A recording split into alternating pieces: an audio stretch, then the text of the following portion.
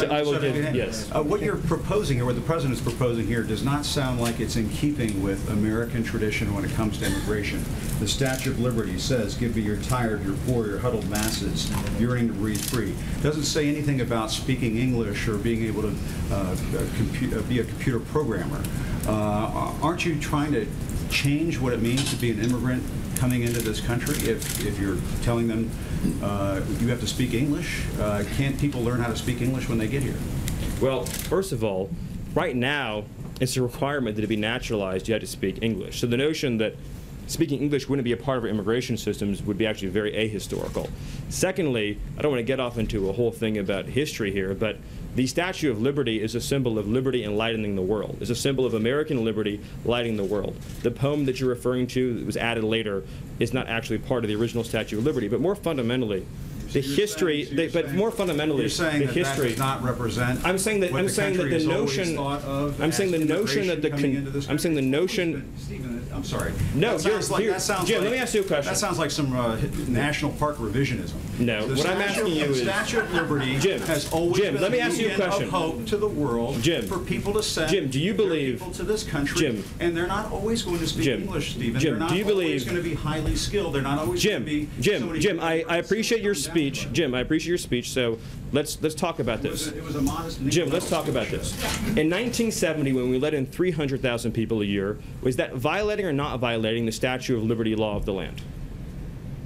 In, 19, in the 1990s, when it was half a million a year, was it violating or not violating the Statue of Liberty law of the land?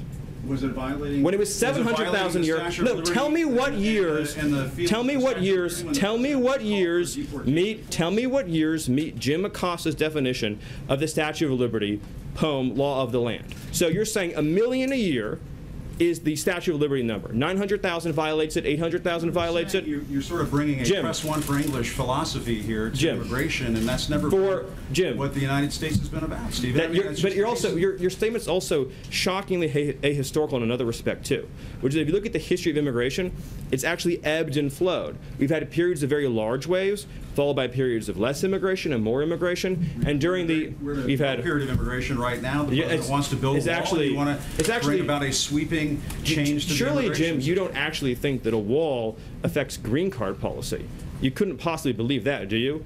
Actually, the notion that you actually think immigration is at a historic law, the foreign-born population in the United States today, with the Jim, new chief of Jim, staff on Monday talk, talking about how border crossings. do you really? I, mean, I want to be serious, Jim. Do you really at CNN not know the difference between green card policy and illegal immigration? Sir, Are I mean, are you really don't know that? Cuban immigrant. He came to this country in 1962, uh, right before the Cuban Missile Crisis, and obtained a green card. Yes, people who immigrate Okay, to this so- so country Jim- can eventually.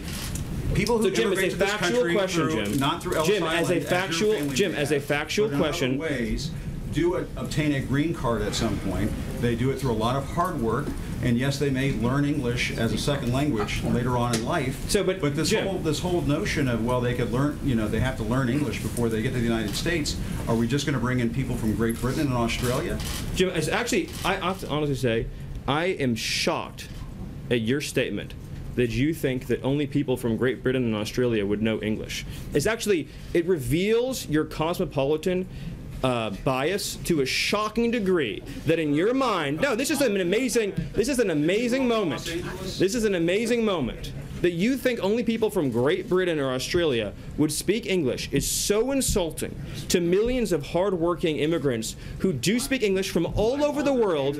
Jim, have you honestly, Jim, have you honestly never met a an immigrant from another country who speaks English outside of Great Britain and Australia? Is that your personal experience? Of course, there are people who come. But that's not what you said, parts of the and it shows it shows your cosmopolitan bias. And I just want to It say, sounds like you you're trying to engineer the racial say- and ethnic flow of people into this country. Jim, that is one of the most outrageous, insulting, ignorant, and foolish things you've ever said. And for you, that's still a really the the notion that you think that this is a racist bill is so wrong and so insulting, Jim.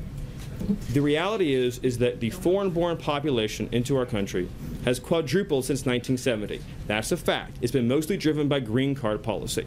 Now, this bill allows for immediate nuclear family members to come into the country, much as they would today, and then it adds an additional points-based system.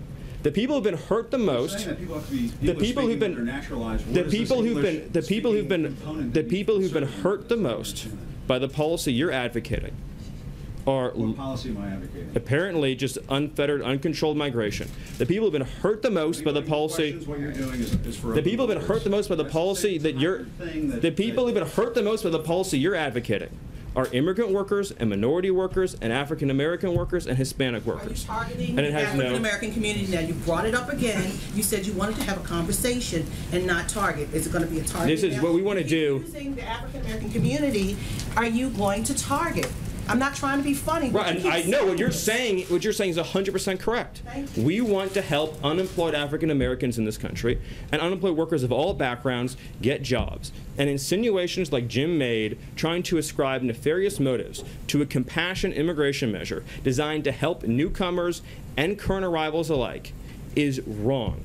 And this is a positive, optimistic proposal that says 10 years, 20 years, 30 I years from now, you ignorant. You called me t- 10 years, 20 television. years, 30 years from now, we want to have an immigration system that takes care of the people who are coming here and the people who are already living here by having standards, by having a real clear requirement that you be able to support yourself financially, by making sure that employers can pay a living wage. That's the right policy for our country, and it's the president's commitment to taking care of American workers. I apologize, Jim, if things got heated, but you did make some pretty rough insinuations. So thank you. I don't know what. Thank you. Rough insinuations. I- Thank you, and I'll hand it over to Sarah. I think that went exactly as planned. I think that was what Sarah was hoping would happen. Like to reclaim I think that, I think that was exactly what we were hoping to have happen. Thank you. That's the question. Thanks, Stephen. Thanks. Well,